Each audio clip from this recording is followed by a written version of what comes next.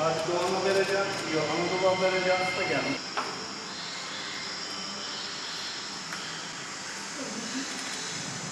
Bu görmüş olduğunuz albino burma pitonu.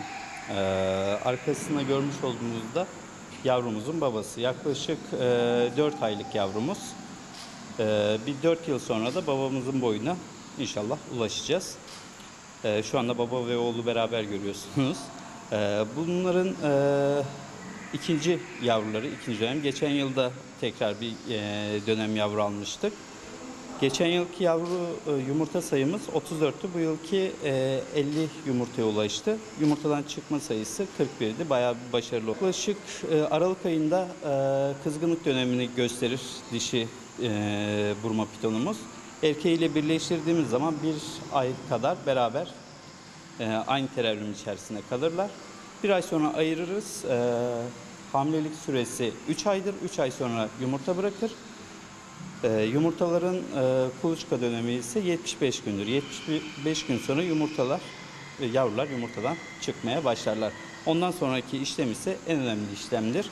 Çünkü e, doğal ortamlarını e, yaratmamız gerekir. Eğer ki yavrular annenin yanında kalırsa anne doğum sırasında canlı ağırlığının %35'ini hamilelik döneminde kaybeder. Çünkü e, hamilelik boyunca hiç yem almazlar yumurtalara zarar vermemesi için ve e, bütün vitaminlerini mineral, protein yumurtaya sevk ederler. Bundan dolayı %35 canlı ağırlık kaybederler ve doğada hemen yem bulamayacakları için direkt olarak küçük cansız yavruları yemeye başlarlar. O yüzden biz yumurtaları annenin yanından alır, yumurt, e, kuluçka dönemini dışarıdaki laboratuvarımızda yaparız. Ee, Şu anda 41 tane yavrumuz var yumurtadan çıkan. Bakımları gayet güç e, ve steril bir ortam gerekiyor. Ee, Bir yıl sonra bunun iki katı kadar olur. Şu andaki boyu 60 santim. 4 yıl sonra da babamızın boyunu 3,5-4 metreye yaklaşırız ki erkeğimizin boyu 4 metre 64 santim. Ağırlığı 78 kilo. Bir ziyaretçiler görebiliyor mu? Ee, şu anda ziyaretçileri e, yavrularımız açık değil.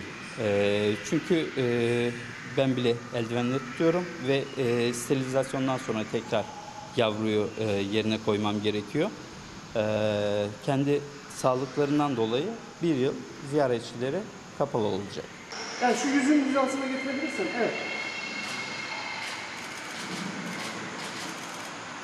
어.